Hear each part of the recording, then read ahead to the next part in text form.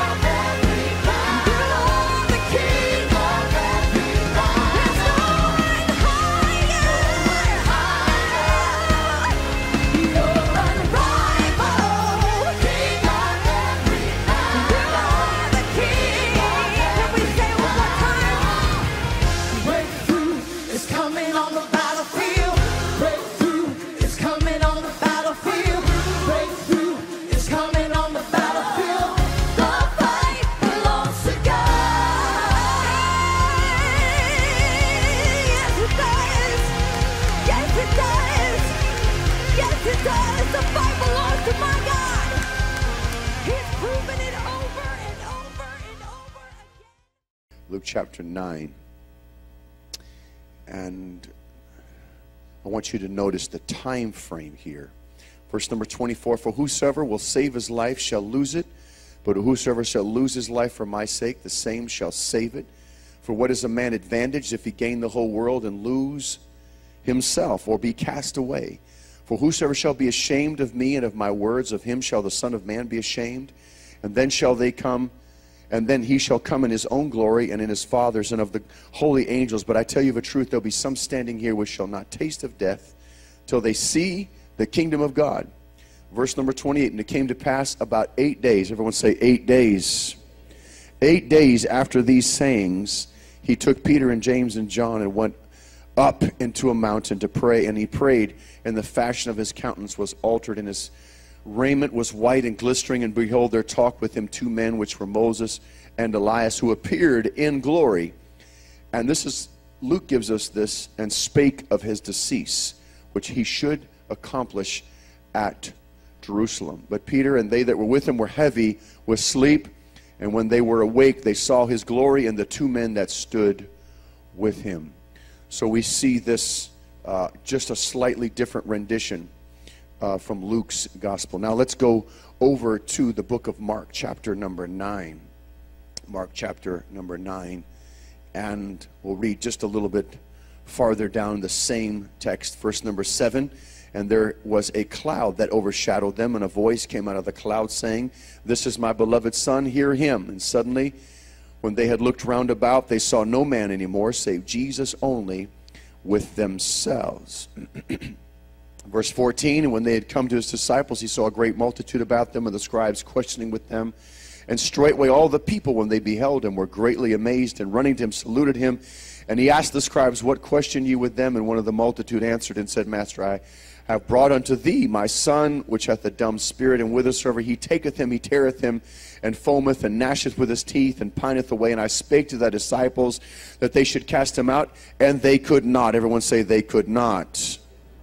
And he answered him, say, and saith, O faithless generation, how long shall I be with you? How long shall I suffer you? Luke says faithless and perverse generation. Mark just says faithless. And they brought unto him, and when he saw him, straightway the Spirit tear him. And when he fell on the ground and wallowed foaming, he asked his father, How long is it ago since this came unto him? And he said, Of a child. And oft times it has cast him into the fire. Everyone say, Into the fire and into the waters, say, into the waters to destroy him. But if thou canst do anything, have compassion on us and help us. And Jesus saith unto him, If thou canst believe, say it with me, all things are possible to him that believeth. In verse Number 27, Jesus took him by the hand and lifted him up, and he arose. And when he was coming to the house, his disciples asked him privately, Why could not we cast him out? And he said unto them, This kind can come out by nothing but by prayer and fasting. Let's pray together. Father, thank you, Lord, for your word, and thank you, Lord, for your people. Help us, oh God, to put context, oh God, on our condition. And help us, Lord Jesus, to see transformation during our transition.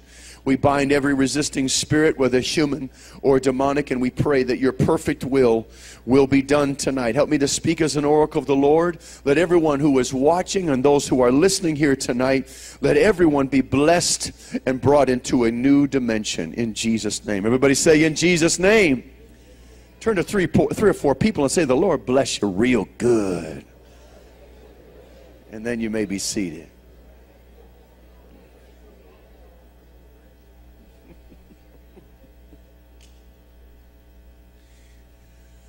There are, th- there are certain themes in the Bible that we go back to. There are principles of the Word of God that constantly speak to us. We can share the gospel every single day, and it's relevant every time. Because every time we share the gospel is for someone that needs some good news. They need to know that there's a second chance, that they can be born again. And so, even though you may have heard the gospel a hundred times, a thousand times, there's something that's rich and powerful every single time that you hear it, and every single time that you study it, and every time that you research it. And so, there are certain principles of the Word of God that have the same kind of effect because they are tied in with those deep themes of redemption and salvation and deliverance. And one of those themes is transformation. Everyone say transformation. It is a part of our mission statement. We say honor God or love God with all your heart, soul, mind, and strength. Honor has a sense of respect to it, it has a sense of the fear of God.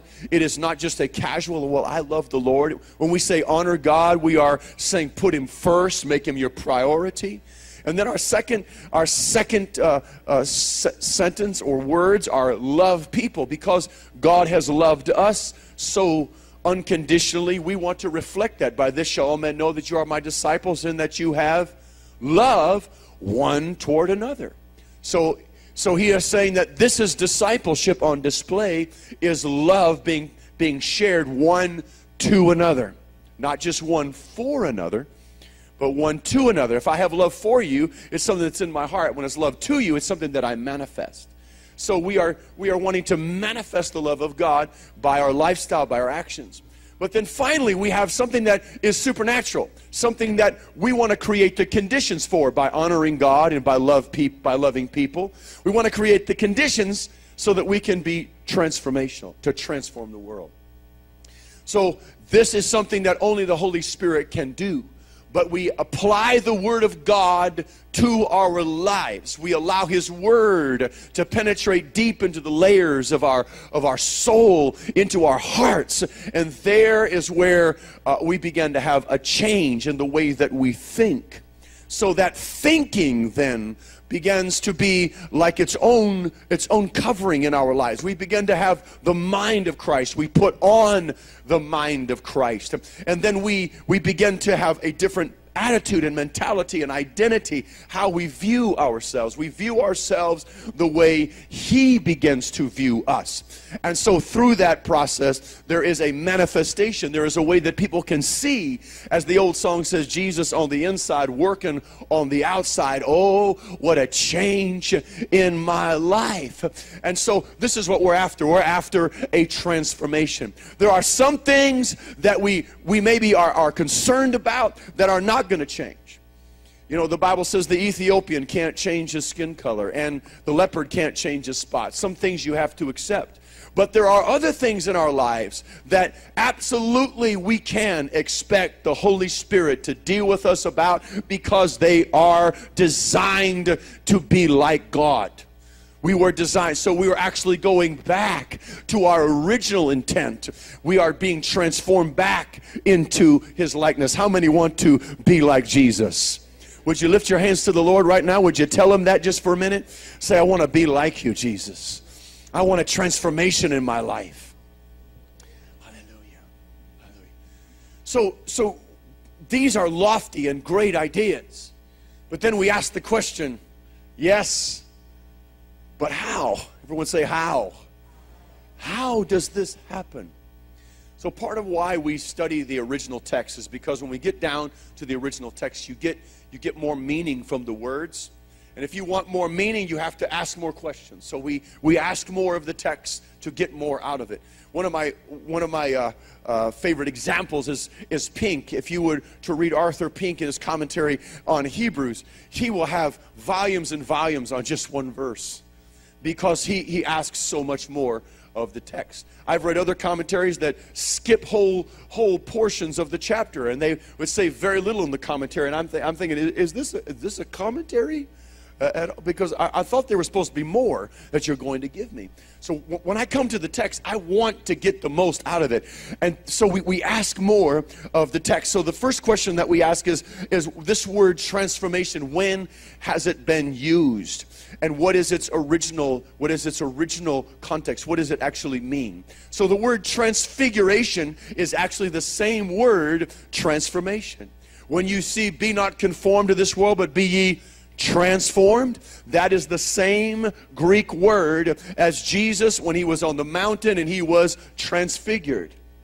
It, it, it is not just to change the surface it, the Bible talks about Satan who can transform himself into an angel of light. That is a different transformation. That means to disguise yourself or to put on a disguise. It is to say, I'm going to change the outward appearance of something to hide you from what I really am. But transformation in the context of Jesus is showing us that it is the revealing or the exposing of who we really are. It is the exact opposite of what Satan does. Satan creates environments to make us think something so that we will believe something, but is, that is not actually true, that is actually a lie. God, on the other hand, does a work in us to bring us to the truth, to take away all the layers of misconception and lies that we have been trying to battle through. So there's all these things that Satan puts on us to try to tell us about ourselves. And we see this in the world system. That's why the Bible says, be not conformed. There is a conforming, there is a feeling of, of, of non importance, or that we are all average, we are all the same, we are all just being reduced to a number. The mark of the beast is going to reduce everyone to a number. That's it. You will have no identity beyond your number. You have no value beyond your number. It is to dehumanize people, to take away any sense of, of desire for greatness. The reason why there are so many laws right now of taxes is to keep people in a place where they will not have a lot of options because it keeps the players that are on the grand scheme of things uh, a, a limited few of people. They don't want new players uh, that are on the stage. They don't want new money because that means that someone else they have to deal with that might change the plan. The reason why everyone was so upset with Donald Trump coming in because it plan, it changed the plan. We have a nationalist and everybody else on the grand scheme are globalists.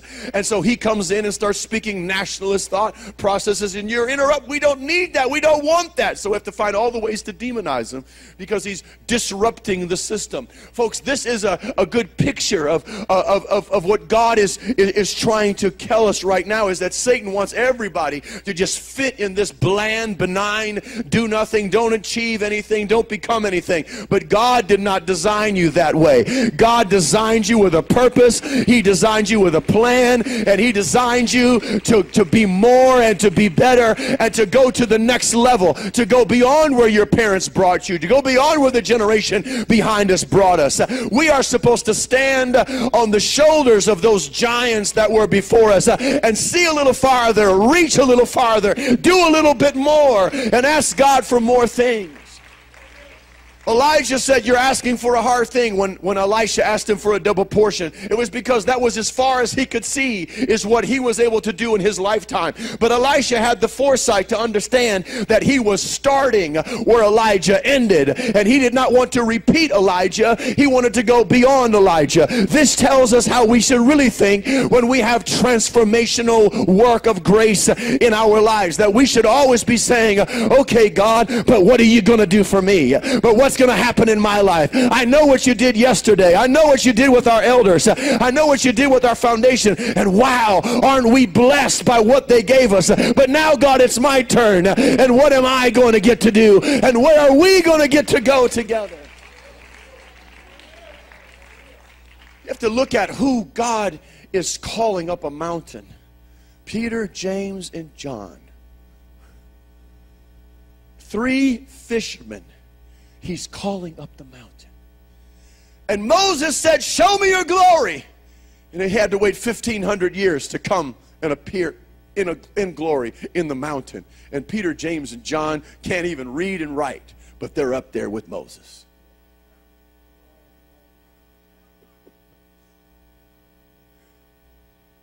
Elijah is there with Moses. They, they, they lived their lives with anticipation and hope. They saw it in the spirit, but could not experience it in their lifetimes. And God gave them, God gave them a gift by letting them appear in glory because they represented the law and the prophets. They were representing the fulfillment of Christ's role of, of, of completing the Old Testament and fulfilling the Old Covenant. And yet here's Peter, James, and John, and, and they're about to sleep through one of the greatest events that ever happened in the history of the world. They were heavy with sleep. They were tired climbing that mountain.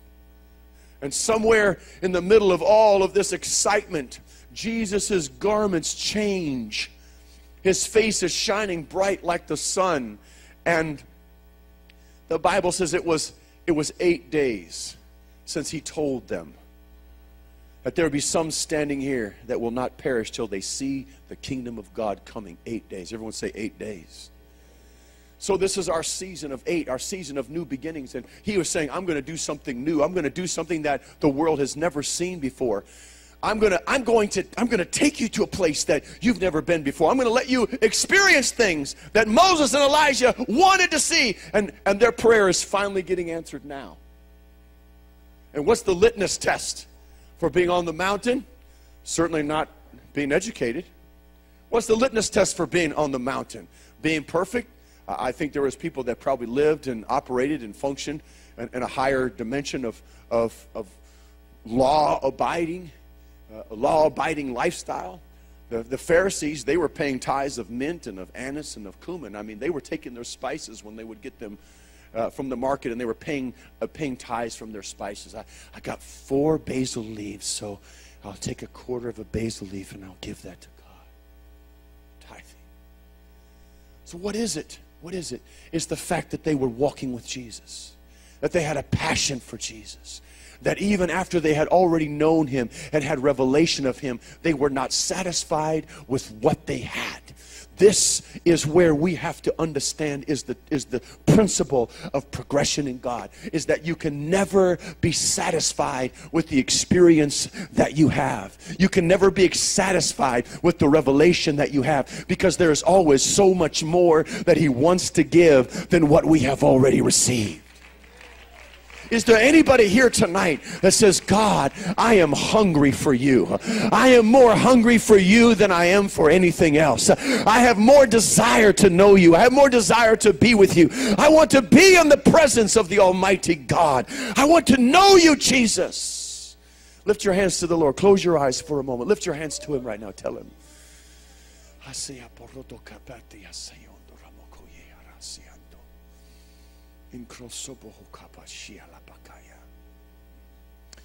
Hallelujah. I've used this template for a long time. I've used these, these, these stories for a long time. I've preached on this before. But there's something that you can go back to and you can extract because there's always things in the text that we miss. And we miss them because of the timing. We miss them because of the timing. Some things we are not mature enough to grasp. There are questions that the, the disciples asked Jesus at the end of their walking with him that they had not thought of when they first started walking with him. There were questions that they asked about the end of the world. There were questions that they asked about his coming.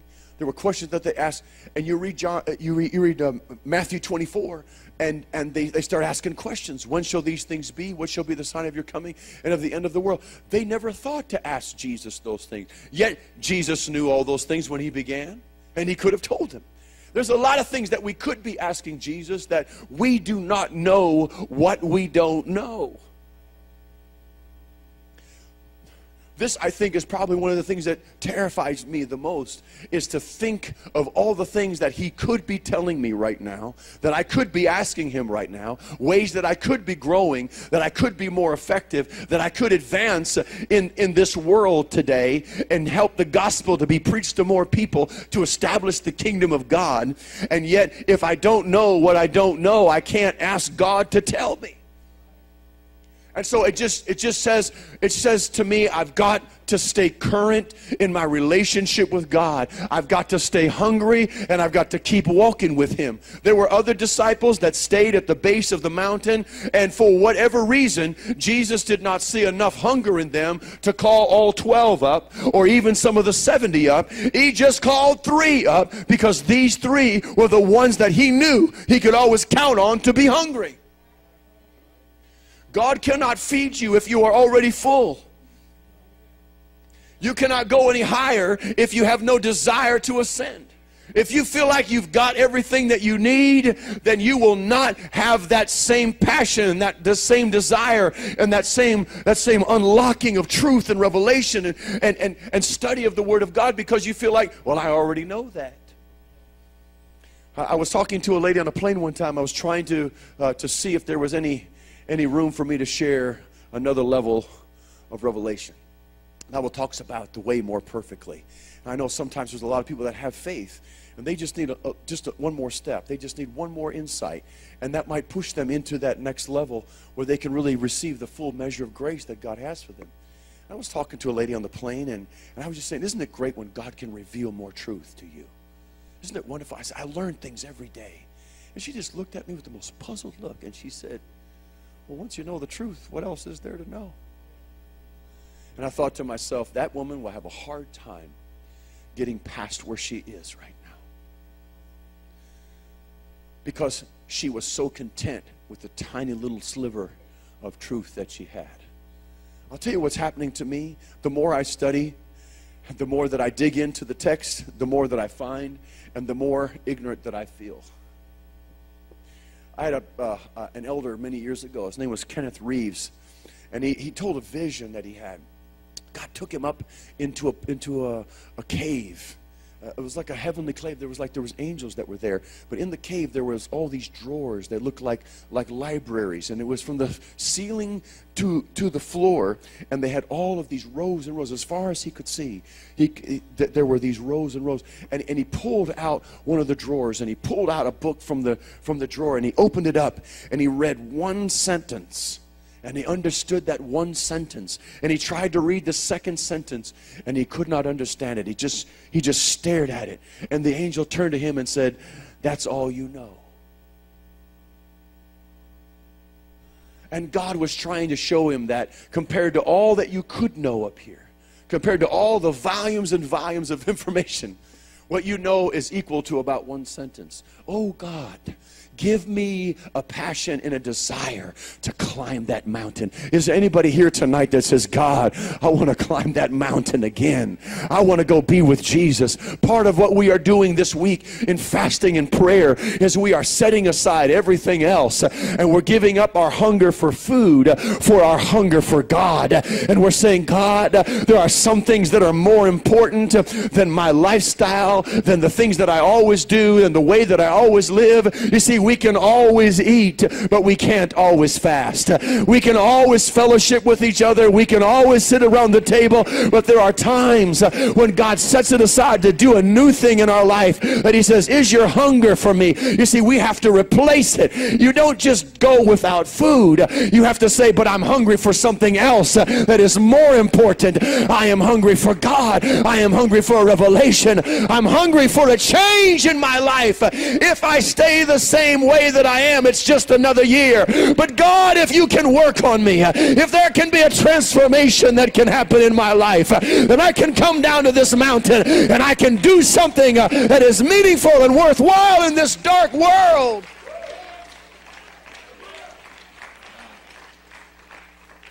God will take time. God will take time with us to get us in that place of transformation. He will spend the time to change us. He's building men, He's building women. That's what He's building. Think about this. Think about this. Two men went into a city and turned a city upside down. When it was when it was Barnabas and Saul and then Barnabas and Paul, everywhere they went, they turned that city upside down. Just two men. How many thousands of believers are in this city? How many hundreds of believers are just in Pasadena? What is it going to take? How many is it going to take for our city?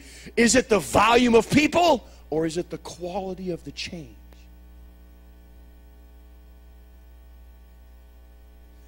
Is it the amount that are that are there that are praying or is it the level of faith and revelation that they're operating on? Is it, is it how many people that they had praying with them that were in Antioch, or was it the church in Jerusalem that was supporting them?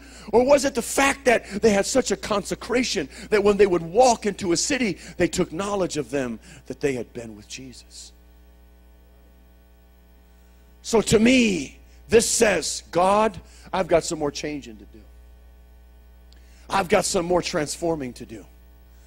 I have got to do something to, to go to the next level. And so Jesus had to show those disciples at the base of the mountain their lack in order for them to be motivated to go to the next level. When he comes down from the mountain, and Peter and James and John had seen him, and yet he told them, Don't talk about this. Don't you tell anything that you've seen today or that you've heard today until after my resurrection. And they're like, What's the resurrection? Wh- wh- What are you talking about? So, well, it hasn't happened yet, so just be quiet. And so they're walking down the mountain and they're like energized. Man, I thought, Jesus, how did you do that with your face? That was really cool. I mean, his garments that changed. Like, like, wow. And did you hear the voice? This is my beloved Son. Hear him. They were still, it was still echoing in their minds. And when they come down, there's a multitude of people that are frustrated. There's a multitude of people that are asking questions that have no answers. The disciples are frustrated. They looking at him like, I'm glad Jesus is finally back because man, this has been a tough one. I mean, they were trying to cast the devil out. They, they cast devils out before. This was not their first attempt at casting out devils. Jesus had sent them out before, and they healed the sick, and they raised the dead, and they cast out devils. They came back celebrating. Even the demons are subject to us in your name. And Jesus said, Don't just rejoice because the devils are subject to you. Rejoice because your names are written in the Lamb's book of life. Celebrate because you're going to heaven.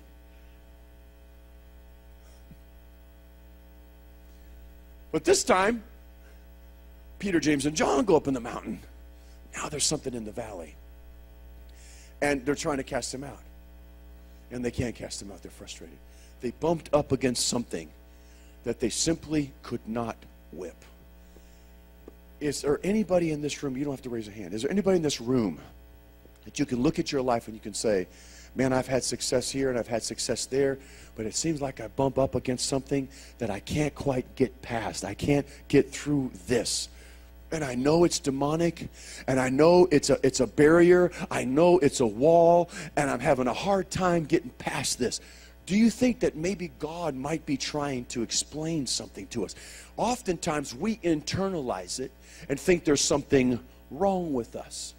Or the other option is we doubt God. If we're not doubting ourselves, we will doubt God and we will wonder if God really can get us through this situation. That's what was happening to the boy and to his father.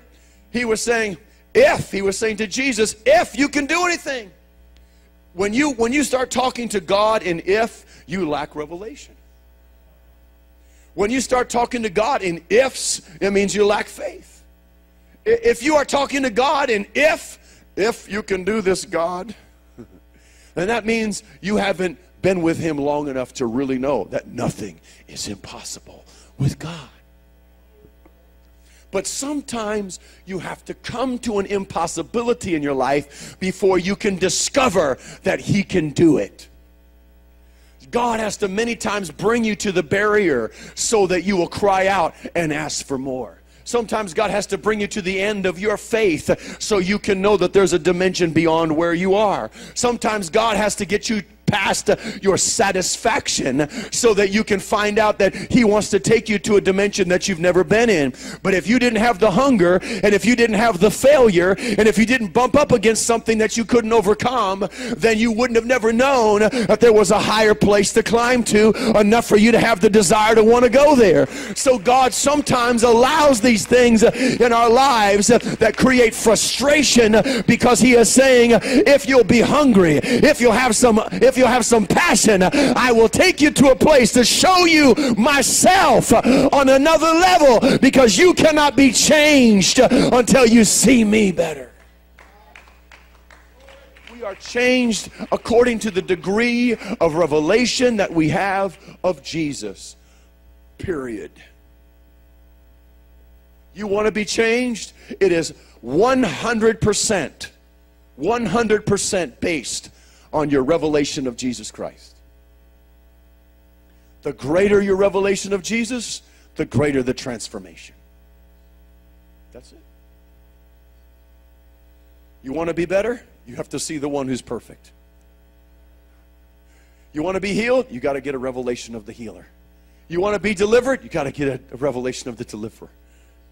You want redemption? You got to understand the cross and your redeemer. If, if you want to have direction, you've got to have a, a a direct line to Jesus Christ, who is your wonderful counselor. Oh God. Oh God. Let me never tire of the, of the thought or the pursuit of knowing Jesus. Would you stop again and would you just lift your hands to the Lord right now? Father, thank you.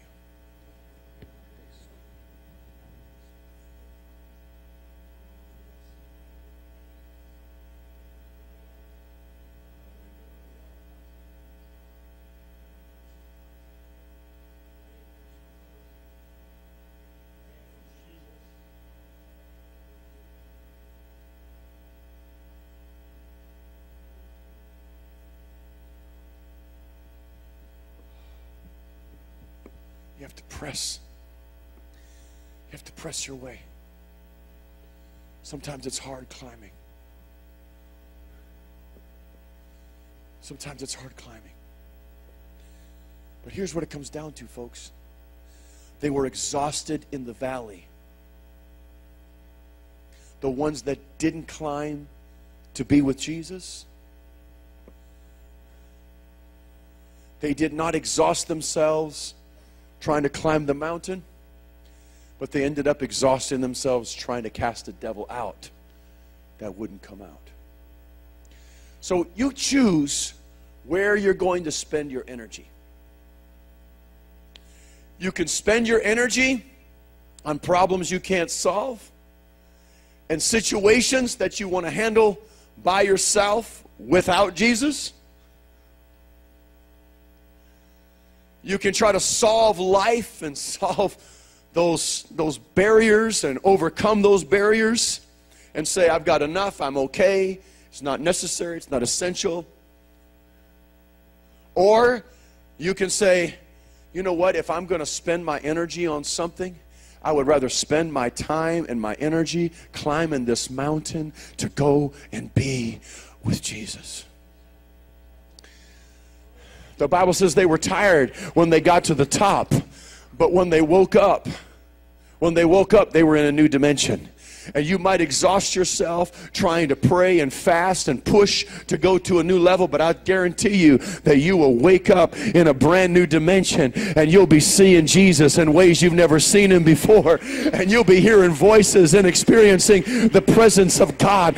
I want something to happen in our church where we can be reignited with our hunger for Jesus, where we have a passion for him, where we have a desire for him, where it's not just a story, it's not just a thought, it's not just a belief system, it's not just a doctrine, but I have an awakening of my revelation of him where I can walk with him and I can hear his voice. Is anybody hungry to know Jesus, to, to walk with Jesus, to hear his voice in your life?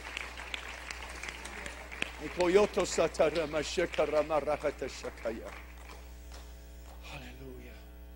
Hallelujah. The, the disciples asked Jesus, What's wrong with us? Oftentimes, when, when we bump up against problems that we can't figure out, that's what we say, What's wrong with me? That is the, the condemnation that hits us. That's the accusations that hit us. Something's wrong with me. Something's wrong with me. How come I wasn't up in that mountain? Something's wrong with me. How come I couldn't cast them out? I, I, I sit in Jesus' name. I, I- I did what I was told to do. What's wrong with me? Jesus just looked at him and smiled. Nothing wrong with you. This kind takes another level of consecration prayer and fasting. Up to this point, you have to understand Jesus never taught his disciples to fast. Matter of fact, the disciples of John fasted often, and they came to Jesus and said, How come your disciples don't fast? And he said, As long as the bridegroom is with you, you're going to rejoice. When he's taken away, then you're going to fast. So, what Jesus was actually doing was giving them a prophetic experience. And he was giving them the tools for their future.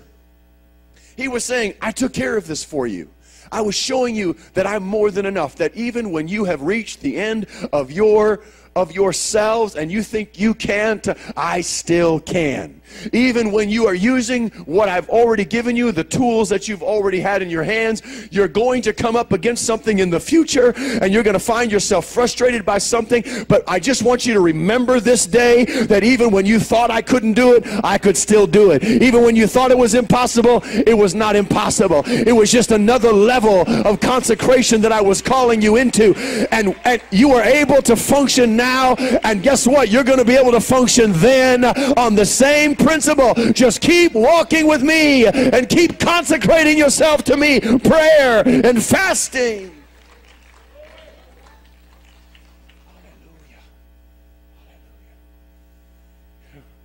There are no shortcuts. I wish there was. I've heard people say, well, I did my one fast, you know. I wish you could just do one fast and that would be it, you know. Never have to fast again. I wish you could just have one one book of prayers you could read and everything you would ever need would be downloaded in that one book of prayers. I have it all now. I can do anything now. But such is the nature of our existence that you whip something today and you go to a new level, and a new level will bring a new devil. Be careful what you want. You might get it. oh man, I want to walk in a place with God where I'm just fighting devils all the time, where the demons are just, you know, attacking me because of my spirituality.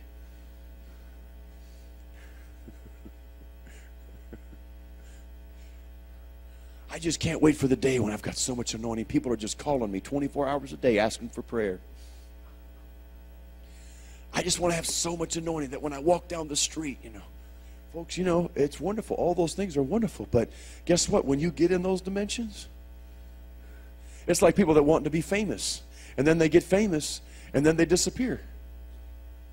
They are trying to find some secluded place. They can't go out to eat anywhere. They, they, they can't get on an airplane anywhere. They can't go on vacation. I mean, it doesn't matter where they are. I mean, they're going to find him. They're going to see him. People are going to be taking pictures. Oh, there he is. Woohoo. A lot of famous people wish they weren't famous anymore. I know a lot of preachers that have some popularity that wish that they, that they weren't under a microscope every, every 30 seconds. Sometimes it's a gift when you don't have everything that you want just right now. And you have to learn to just walk with God and say, God, let me learn and let me let me be happy and let me be content just being with you right now and learning and growing. But remember this, even in the times when you reach that frustration point, he is bringing you to a, another lesson to teach you that I'm never going to leave you without an opportunity to be equipped for the next level. He said, I haven't taught you about fasting yet. I didn't teach you about this dimension yet. I took care of this dimension, but I let you see a little bit of frustration so I could put a seed in you that you would say, I always need to keep growing. I always need to keep moving forward with God. And the next dimension you're going to learn is I'm going to go away and my physical presence is not going to be here, but my spiritual presence is going to be here. I'm going to be in you with my Holy Spirit and you're going to know that greater is he that is in you than he that is in the world. And I will not leave you comfortless. I will come to you. Then I'm going to teach you how to fast uh, and then I'm going to show you how to break down the strongholds. Uh, I'm going to show you how to go back up in that mountain in the spirit. I'm going to show you how to get fresh revelation and I'm going to show you how to bring it back into the world and bring people out of their darkness. And I'm going to teach you how to do the impossible through my spirit. Hallelujah. Hallelujah. Thank you, Jesus. Stop and lift your hands again to the Lord right now.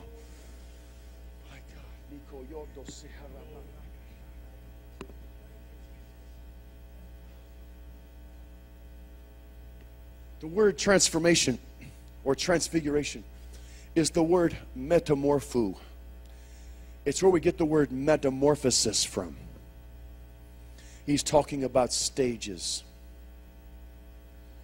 Stages of growth and stages of change. We transition.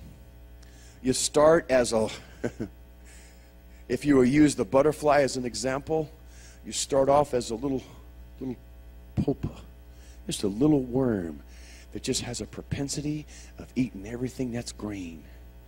If it's green, it's mine. I'm just going to eat that thing. And then that thing just keeps growing and growing and growing and growing and growing and growing. And man, all of a sudden there's little things sticking out of its back. And man, all it can do is say, I just love green stuff. Just just show me green and I'm after it. I mean, they the leaves, they are eating those leaves, they are consuming those leaves. I mean, man, that thing just and it has a built-in it has a built-in camouflage so that the the birds don't eat it, nothing else doesn't want it, and and it just keeps there eating until finally something happens to that full, fully developed pupa. It goes into its its full stage past the larva stage and all of a sudden now it's full caterpillar and then it suddenly gets real sluggish and says, you know, I, I, I'm, I'm, I, I'm not ready. I don't want to eat nothing. I've eaten all I can eat until I have a change. I've- I've gotten as much as I can get out of this stage. I've grown as much in this stage as I can grow. Now I've got to have a cocoon. And out of that same caterpillar comes the cocoon that it spins. There's something inside of the caterpillar that triggers. There's a, there's a, there's a mechanism in them that says, time for the next level. And all of a sudden, after all of the consuming, it puts something out. It produces something. It creates a cocoon for itself. And then it submits to the process. It doesn't it doesn't seem to do much. And it's just there sometimes for weeks, sometimes for months. But something amazing is happening where we cannot see. And all of a sudden, that thing wakes up. I, I remember one time I got a cocoon. I didn't know what it was, and I was so excited about it. And I took it into the house, and I just broke the stick off, and I just put it in a jar, and I stuck it in the house all through the wintertime. And I was just waiting. I was waiting. What was it going to be, and what was going to happen? And then I forgot about it. I would shake it sometimes. I was like, man, I don't even know. There's something in there. And I stuck it, and I just let it down. I'm like, oh, I don't want to hurt it, so I just left it. And one day I came home from school and my mom was so mad at me. She goes, What on earth was in that cocoon? My God, it's a moth. It's a giant moth that's flying around the room. Where did that thing? Did you bring that cocoon into the house? Oh, it was a moth. Oh, awesome. That was so awesome. It was a giant moth came out of that thing. And my mom was trying to kill it, you know. She didn't want that thing in the house. So I don't remember what happened. I think mom won. I think mom actually won. But but I didn't know what it was. I, I was just I was just enamored with the idea. That thing just sat there. And I didn't think I, I totally forgot about it. It seemed like it was completely dormant. But even folks, in our times when we think that we're completely dormant, God is doing something inside of us. And what happens? There's a there's something else. It's a timing issue. It's a timing issue. It's a readiness issue. See, both of these things, the Mount of Transfiguration and casting out the demon, they were about the future. They were about where you're going. They were about a transition into a new dimension. It was about transformation. Jesus said, I'm showing you what transformation looks like. I am transfigured in front of you. Now you're going to do that.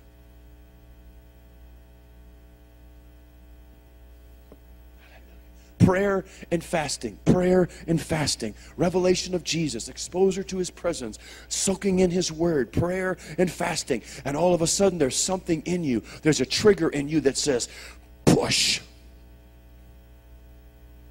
All that time, that, that butterfly is inside of that cocoon. It doesn't do anything until the change is complete. And then something inside of that, of that cocoon says, I'm not supposed to be here anymore. What is it? I, I don't know. Uh, How does how does it? Does it count? Is there a little calendar inside of there for a little for a tiny little a calendar that the butterfly is counting? In 28 days is when I'm going to come out of here, and it's been 27 days, so tomorrow.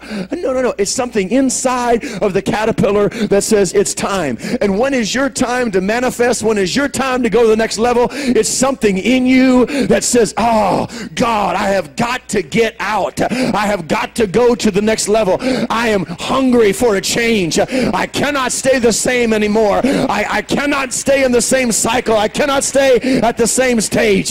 God, I've consumed all I can consume on this level. God, I, I feel something in me. I've been waiting. I, I've been I've been in this process of change. It just seems dark, but there's something in me that says now, now, now. Ah!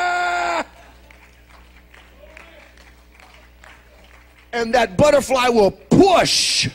It will push against the walls until there's a small hole at the bottom, and he will push his way out.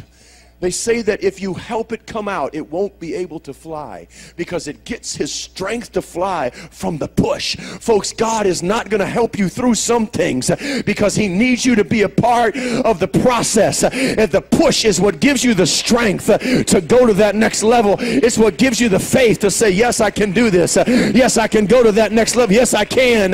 Yes, I will. God, you put something in me. You put some greatness in me. You put a destiny in me. You put you put you put a dream inside of me. And now it's time. Would you stand with me all over this building?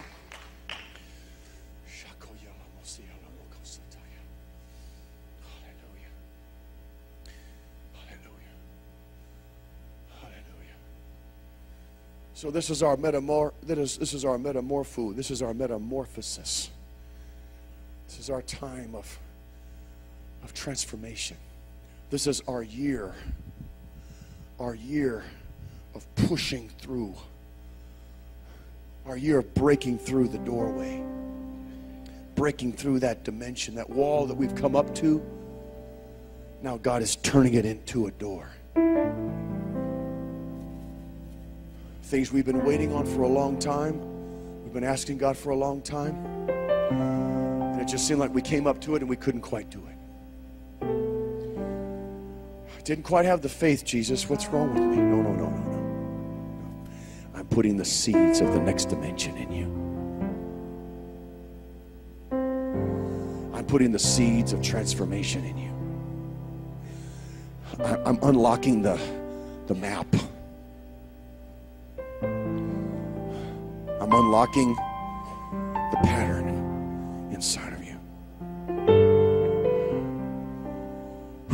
Paul said, My little children, of whom I travail in birth again, until Christ be formed in you. Until Christ. Everyone say, until. Until. Until. He said, You're, you're already born of the water and born of the Spirit. You're already begotten. You're already the people of God. You're already heirs of the promise. But there's still more Christ that needs to be formed. It's the same root word for transformed till Christ be formed in you. He's saying, I know that there's more ministry. What, what, what, is, what is Christ? Christ means to supply what's needed. Greek word for Christ, to supply what's needed. It means to rub or smear with oil. Thank you for letting me pick on you a little. To rub or smear with oil. That means you've got so much anointing. It's, Christ was the anointed one, and we become the anointed ones. Christ is formed in us, and people do what they did with Peter and John. They took knowledge that they had been with Jesus. Been with Jesus. I want, I want to be educated. I'm asking God to help me learn three or four languages. I, I, there's, I said, God, even with my age of my brain, please, can you do something? Can you give me a pass and let me go back to where it's more pliable? I can learn better. And help me to learn language. I want to be intelligent. It'd be wonderful to be a doctor or whatever, doctor of divinity or whatever. But you know what? What I want more than anything? I want people to know that I've been with Jesus. I want people to know I've been with Jesus. Do you see him in my face? Do you hear him in my voice?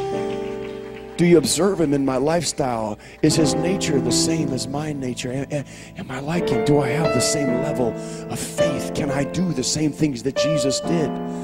When I stand before a crippled person, do I look at him and go, Oh, oh I, I wish Jesus were here? Or do I say, Thank you, Jesus, your spirit is here right now, and you can bring healing to this body?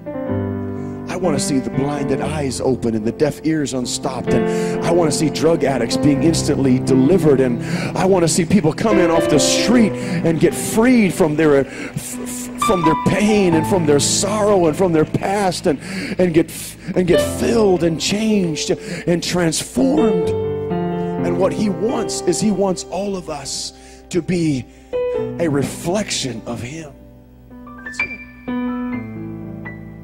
And so there's a travail. Paul said, I travail in birth again until. I just keep travailing. I keep going through the process. I, I, I pray, and during my prayer, something else is birthed. I travail. I travail again, and something else is born. I travail again, and something else is changed. I go on another fast, and during that time, I learn something else. I get another dimension. God shows me something else. He takes something out that doesn't belong and puts something else in its place that does. Does that make sense? So that's what He's doing right now. The warfare in 2017 was about our process of change. This year is not about so much about the process of change, but it's about the manifestation of who He's made us. That's where the fight's going to be. The fight's going to be whether you're going to be able to release it, whether it's going to be able to come out of you, whether you're going to have confidence, whether you're going to accept the change, whether you're going to keep the change. You ready? Lift your hands and turn them towards yourself right now. Say, God, I submit to this to this place of change that you put me in. I submit to this season of transformation. I submit myself, God, to this process.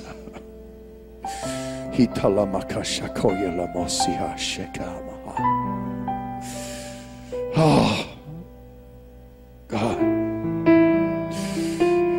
can feel the pressure, God. I can feel the pressure of the walls, God. I can feel the intensity, oh God, of the confining of the cocoon. I can feel that, that frustration of saying, I, I want to be more, but I don't know how to be more. God, I can feel that sense of, yes, I want it, but I don't know how. I hear that voice, what's wrong with me? What's wrong with me, God? And you're saying there's nothing wrong with us. But you're ready to take us to a new dimension of revelation of who you are. Because the sufficiency.